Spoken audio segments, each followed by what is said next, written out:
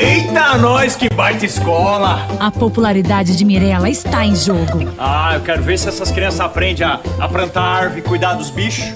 Vocês aprendem essas coisas aqui, fia? Durval toma uma atitude. Eu não vou ser o único responsável por absolutamente tudo que as nossas filhas precisam. Comida, roupa lavada e passada, lição de casa, material, higiene, médico. Hoje, 15 para as 9 da noite, Te vire, Fernanda. As Aventuras de Poliana. Débora arruma mais uma desculpinha. Ô, Luísa, será que eu posso ficar mais alguns dias aqui na sua casa? Eu não tenho condição de procurar um lugar pra ficar com o pé desse jeito. Hoje, 15 para as 9 da noite, As Aventuras de Poliana.